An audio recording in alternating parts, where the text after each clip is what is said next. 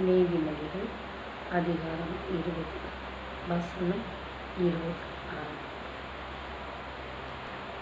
தன் தகப்பனையும் தன் தாயையும் தூஷிக்கிறவனுடைய தீபம் ஆறுகளில் அணைந்து போகும் அம்மாவையும் அப்பாவையும் பேசுகிறவன் ஒளியில் நடக்க முடியாது.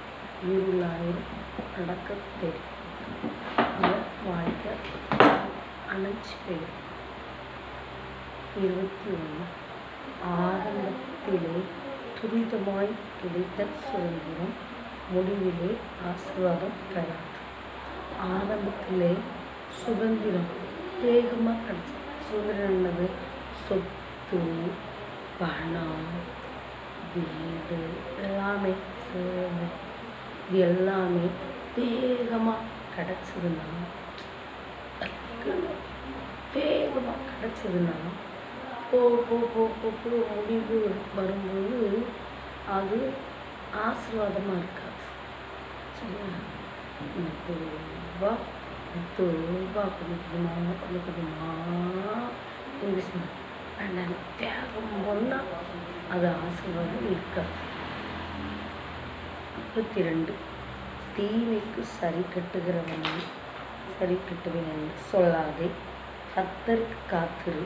அவர் உன்னை ரட்சிப்பார் தீமை வேற யாராவது நமக்கு தீமை செய்வாங்கன்னா அது சரியாக நான் தீமை செய்ய கூடாது அந்த தீமை செஞ்சால் நான் அமைதியாக கத்தர் என்ன செய்கிறாரோ செய்யட்டும்னு காத்திருக்கேன் அப்போ உனக்கு ரட்சிப்பு உண்டாகும்.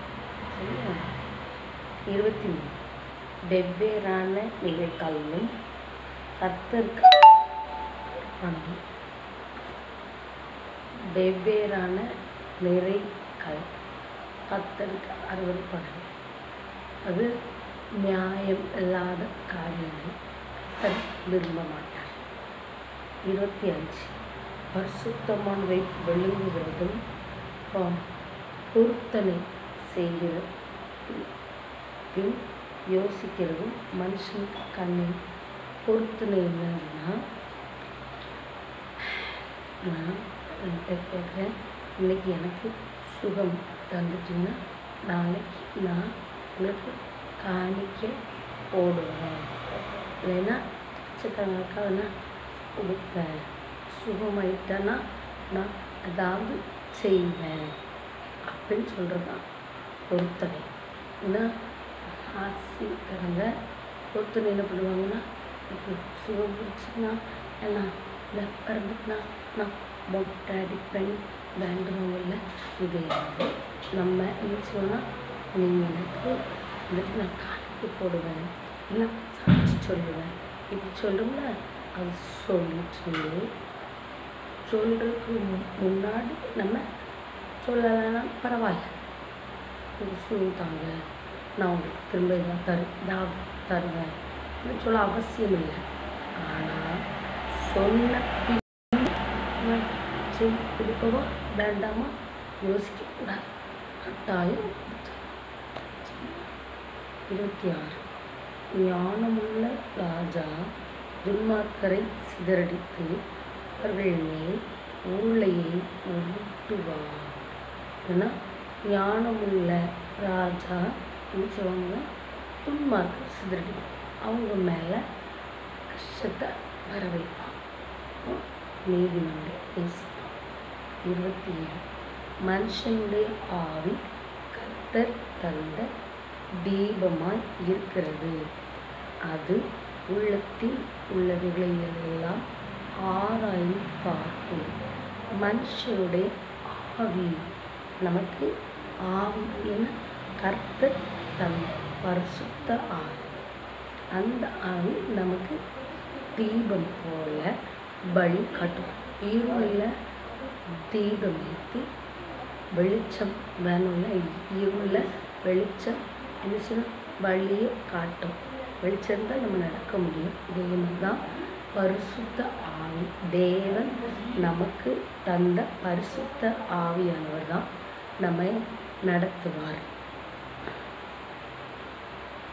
நம்முடைய உள்ளத்தில் உள்ள எல்லாவற்றையும் அவர் அறிகிறார் எல்லாவற்றையும் ஆராய்ந்து எதுக்கு பேசுகிறோம் என்ன செய்கிறோம் நம்ம சொல்கிறது வேற.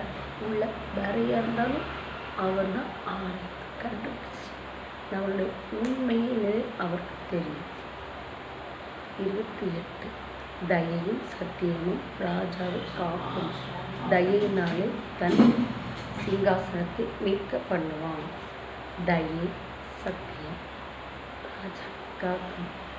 தயைக்கு மாற்றி தயவாக இருந்தால் அவன் சிங்காசனம் வச்சிருக்கலைன்னா போட்டு போவான்.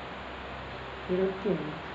பாலிதரின் அலங்காரம் அவர்கள் பராக்கிரமம். வாலிபர் இருந்தால் வாலிபர் அழகு. மேக்கப் பண்ணது கிடையாது. பராக்கிரமம் இருக்கிறது தான் அழகு. நல்லா. எனவே வயதானவர்களுக்கு அழகினது பலம் கருப்பு. சி அப்படி ஆச்சரியம் வயசு போக போக வெள்ள வர்றது அழகு இப்போ காய ஆறி தழும்புகளும் உள்ளத்தில் உரை உரைக்கும் அடியும் பொல்லாதவனும் அழுக்கு அற உடைக்கும் பொல்லாதவனை அவனுக்கு தண்டனை அடி உள்ள பழிக்கிறது இதெல்லாம் என்னென்னா மாற்றி எல்லாம் கொண்டு வர